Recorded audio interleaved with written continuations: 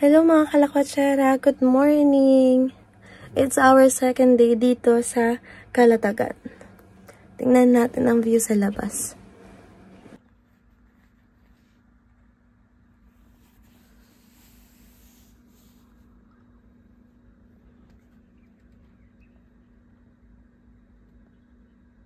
Hello mga kalakwatsera, dahil second day na namin dito, tara, samahan niyo muna kaming magkape. Kasi may libreng kape dito sa Kukuns Kasobe. So, yan. Init muna tayo ng kape. Let's go. Ayan. May pakape dito. Ayan. May free kape. Tapang, oh. Ano sa'yo, eh? Kunti lang yung kape. Ay, cute. Smile siya, oh.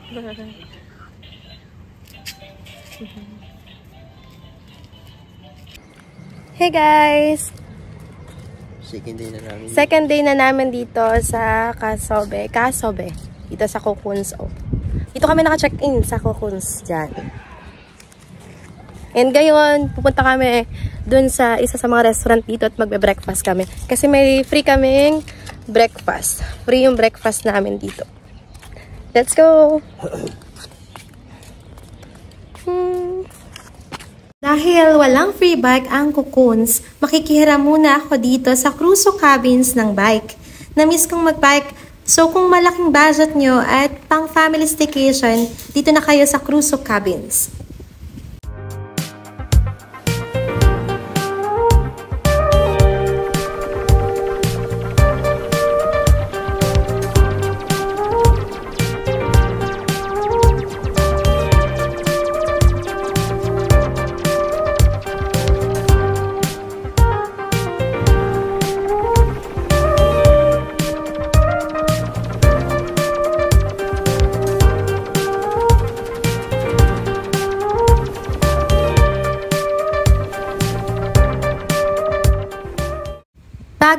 Mag-breakfast, dumaan muna kami dito sa tabing dagat para na rin makalanghap ng sariwang hangin at makita ang ganda ng haring araw. Ito yung harap ng uh, Kasobe Kalatagan.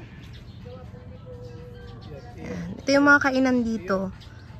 So, hindi mo hindi ka na maghahanap, hindi ka na magdadala ng mga pagkain para lang magut para hindi ka magutom. May mga kainan dito sa loob. So, ilan tong kainan? Isa, dalawa, meron pa doon, tatlo, apat, lima. Lima yung kainan dito sa loob ng Kasobe. Sa Kalatagan. So. Hindi puti yung buhangin dito, pero pwede na. Medyo ma, ano siya, ma, ano, ma pebbles. Yan. Hindi ganun kapino yung buhangin dito. May mga shells. Yan.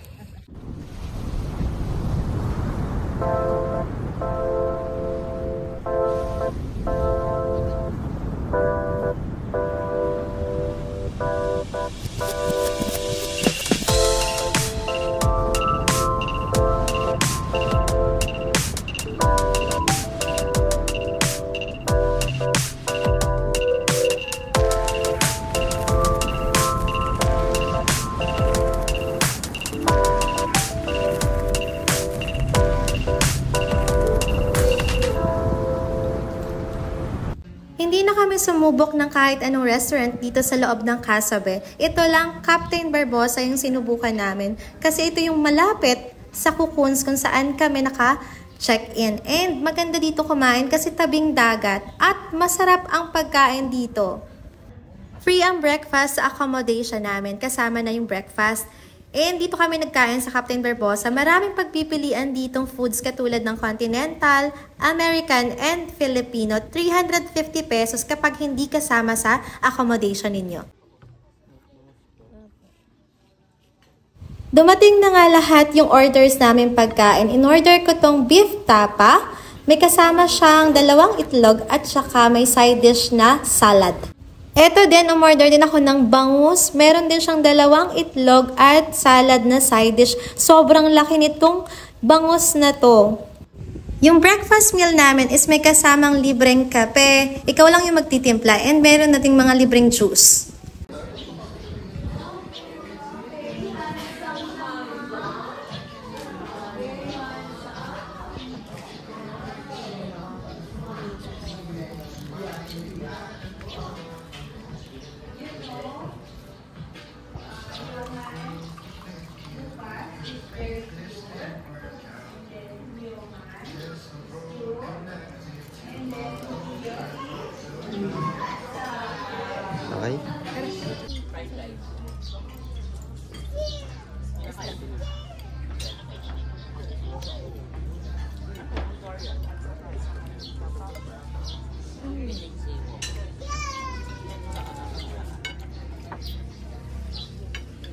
Kalatagan South Beach is also a pet-friendly resort, so you can bring your fur babies with you. They are free to swim at the beach, but they are not allowed in the pool area.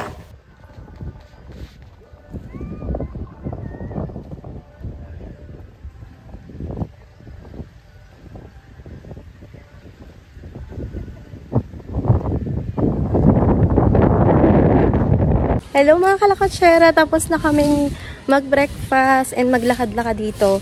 Tara, tara ulit doon sa aquaria ka. Swimming ulit tayo. Meron din area dito sa Kasabe na pwede kayong mag-basketball. Ito yung canopy area. Last day na namin dito sa Aquaria Water Park, kaya samahan nyo kaming sulitin ang pagsiswimming dito sa Aquaria. Let's go! Bago pumunta dito sa Aquaria, nagbaon na ako ng maraming lakas ng loob para subukan yung kanilang water activity dito. Kahapon kasi hindi ko nasubukan kasi natakot ako. Pero ngayon, gagawin ko na.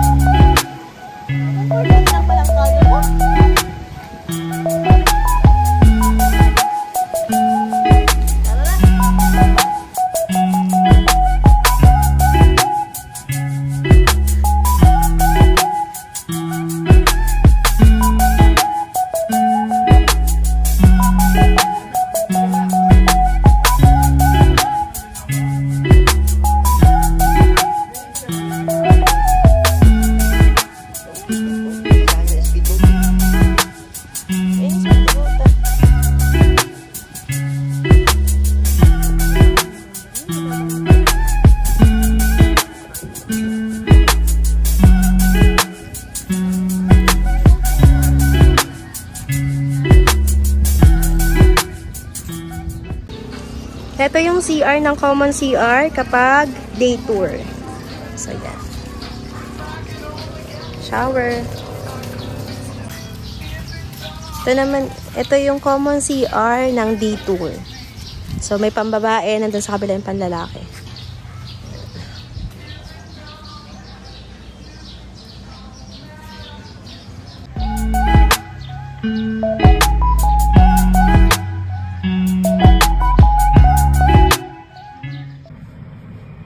Kunin natin tong mga essential kit dito sa cocoons kasi di naman namin nagamit. Sayang lang. Kasama naman to sa binayaran. So, meron toothbrush, yan, mga kape, asukal, tooth, ano to? Shampoo, conditioner, ayun, nasa loob na. Sabon, ayun. Kung chanelas, kunin din natin, tsaka itong, lagayan to ng basa na damit. Itong, uh, ano tawag sa ganito? Face mask, alcohol, kunin na din natin. Sayang naman, bayad yan. Hey guys! Welcome back sa channel ko. And ngayon, paalis na kami dito sa Kasobe, dito sa Kukuns. Diretso naman kami ngayon ng Kalerwega or Fantasy World. Bye-bye!